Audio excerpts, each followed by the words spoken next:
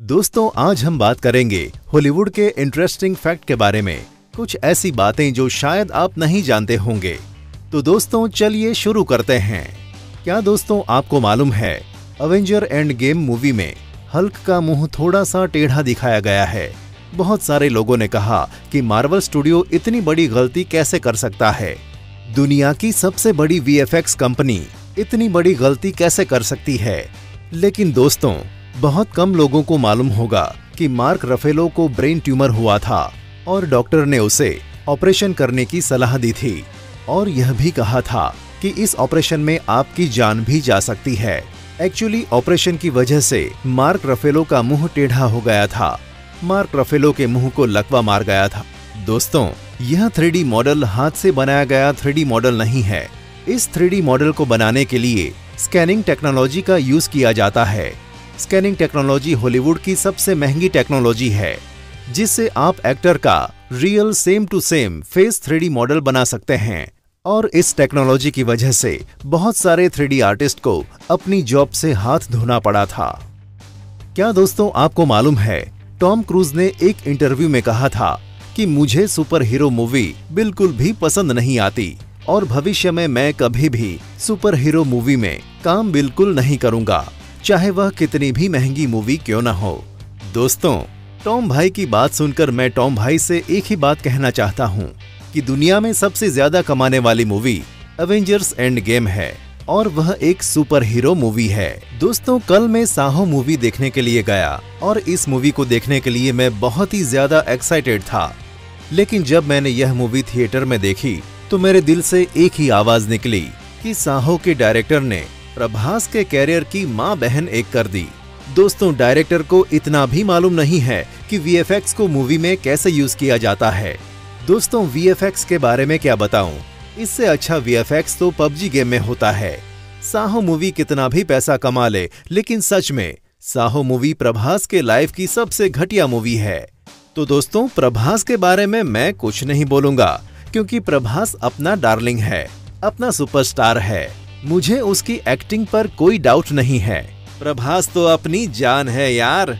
Last में मैं एक ही बात कहूँगा कि इस डायरेक्टर ने प्रभास के कैरियर की माँ बहन एक कर दी। क्या दोस्तों आपको मालूम है एक्समैन मूवी में ह्यूज जैकमैन ने एक शर्टलेस सीन के लिए 36 घंटे तक पानी नहीं पिया था।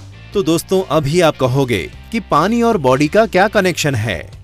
तो दोस्तों, जब मैंने रिसर्च की तो पता चला कि अगर आपको एक दिन के लिए अच्छी बॉडी चाहिए तो आप एक या दो दिन तक पानी नहीं पी सकते। जैसे मुझे रिसर्च में पता चला कि जितने भी बॉडी बिल्डिंग के कंपटीशन होते हैं, उस दिन बॉडी बिल्डर एक या दो दिन तक पानी बिल्कुल नहीं पीते हैं, जिससे उसकी बॉडी का शेप ज़बरदस्त हो जाता है। दोस्तों, मुझे बॉडी बिल्डिंग के बारे में इतना नॉलेज नहीं है, लेकिन अगर आपको पता हो तो मुझे ज़रूर बताना कि बॉडी और पानी का क्या कनेक्शन होता है। दोस्तों, हाल ही में एक मूवी रिलीज़ होने वाली है और यह मूवी हॉलीवुड में धूम मचाने वाली है। पूरे हॉलीवुड में इस मूवी की बहुत ही ज़्यादा तारीफ़ हो रही है और इस मूवी का नाम है जोकर। हाल ही में 31 अगस्त वेनस फ़िल्म फेस्टिवल में जोकर मूवी को दिखाया गया था। दोस्तों, आपको जानकर हैरानी होगी कि जोकर मूवी देखने के बाद वहाँ लोगों ने खड़े होकर जोकर मूवी को एक मिनट नहीं, दो मिनट नहीं, चार मिनट नहीं, आठ मिनट तक खड़े होकर स्टैंडिंग ओवेशन दिया था। आठ मिनट तक खड़े होकर ऑडियंस ने तालियाँ बजाई थीं। दोस्तों, सबको पता है कि डार्क नाइट मूवी में जोकर का किरदार निभाने वाले हिथ लेजर की जगह कोई नहीं ले सकता। लेकिन कहा जा रहा है कि जोकर मूवी हिथ लेजर के जोकर को भी टक्कर दे सकती है। जोकर मूवी ने क्रिटिक्स का दिमाग हिलाकर रख दिया है। और क्रिटिक्स ने भी इस मूवी की बहुत ही ज़्यादा तारीफ़ की है। तो दोस्तों, आपको क्या लगता है? क्या यह मूवी हिथ लेजर के जोकर को टक्कर दे पाएगी या नहीं? हमें ज़रूर बताना। क्या दोस्तों, आपको मालूम है स्पाइडरमैन वन मूवी जब रिलीज़ हुई थी तो इस मूवी ने अपने पहले वीकेंड में ही 100 मिलियन डॉलर कमाने का रिकॉर्ड बना लिया था। यह 2002 में हॉलीवुड की पहली मूवी बन गई थी, जिसने तीन दिन में 100 मिलियन डॉलर कमा लिए थे। स्पाइडरमैन वन मूवी में टॉबी मैगवायर को सीरियस बैक इंजरी हो गई थी और टॉबी मैगवायर ने ऑलमोस्ट डिसाइड कर लिया था कि वह स्पाइडरमैन टू मूवी में रिटर्न नहीं आएँगे। क्या दोस्तों, आपको मालूम है मैन ऑफ़ स्टील मूवी में हेनरी कैविल को परफेक्ट बॉडी बनानी थी। जिम ट्रेनर चाहते थे कि हेनरी कैविल स्टीरोइड लेकर अपनी बॉडी बनाए, लेकिन हेनरी कैविल ने स्टीरोइड लेने से साफ़ साफ़ मना कर दिया था। दोस्तों हेनरी कैविल ने डायरेक्टर को भी साफ़ मना कर दिया था कि मैं बॉडी बनाने के लिए स्टीरोइड का यूज़ बिल्कुल नहीं करूँगा। और बाद में हेनरी कैविल ने बिना स्टीरोइड लिए ही अपनी बॉडी बनाई थी। बहुत कम लोगों को मालूम होगा कि स्पाइडरमैन मूवी के लिए टॉबी मैगवायर ने भी सिक्स पैक एप्स बनाए थे। स्टीरोइड के बारे में मुझे इतना नॉलेज नहीं है, लेकिन स्टीरोइड लेकर बॉडी बनाना अच्छा है या बुरा, आपको क्या लगता है? दोस्तों, हेनरी केविल ने जो डिसीज़न लिया, वह सही है या गलत, ये हमें ज़रूर बताना। क्या दोस्तों, आपको मालूम है, वंडर वुमन मूवी शूटिंग के दौरान गिल गैडोट प्रेग्नेंट थीं। फिर भी गिल गैडोट ने वंडर वुमन मूवी की शूटिंग कंटिन्यू रखने का फैसला लिया था। वंडर वुमन मूवी की शूटिंग ऑलमोस्ट खत्म होने वाली थी। उस टाइम पर गैल गैडोट का पांचवा महीना चल रहा था और पेट थोड़ा बाहर निकल आया था। फिर भी शूटिंग को कंटिन्यू करने का फैसला लिया गया।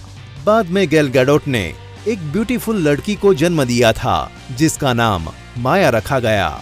दोस्तों, गैल गैडोट की दो बेटियाँ हैं।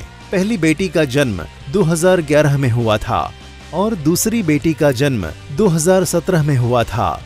तो दोस्तों, आपको क्या लगता है, प्रेगनेंसी में शूटिंग करनी चाहिए या नहीं? ये हमें ज़रूर बताना। क्या दोस्तों, आपको मालूम है अर्जुन वॉरियर प्रिंस मूवी, हमारे इंडिया की सबसे बेस्ट टू एनिमेशन मूवी है। सच में दोस्तों, किसी को मालूम नहीं है कि हमारे इंडिया में भी हॉलीवुड लेवल की टू एनिमेशन मूवी बन चुकी है। दोस्तों, इस मूवी को बनाने में पाँच साल लगे थे। अर्जुन वॉरियर प्रिंस का ट्रेलर 2010 में रिलीज़ कर दिया गया था, लेकिन इस मूवी को 2012 में रिलीज़ किया गया था। दोस्तों, एक बार इस मूवी की क्लिप को YouTube पर ज़रूर देखना। अगर आपको इस मूवी का टू एनिमेशन पसंद नहीं आया, ऐसा हो ही नहीं सकता। दोस्तों, मुझे प्राउड होता है कि हमारे इंडिया में भी ऐसी टू एनिमेशन मूवी बन चुकी है। दोस्तों ऐसी ही हॉलीवुड न्यूज़ सुनने के लिए मेरे चैनल को सब्सक्राइब करना ना भूलें और बाजू में जो बेल आइकॉन है, उसको क्लिक करना ना भूलें ताकि मेरी नेक्स्ट वीडियोस आप देख पाएँ। दोस्तों, इस वीडियो को लाइक और शेयर करना ना भूलें।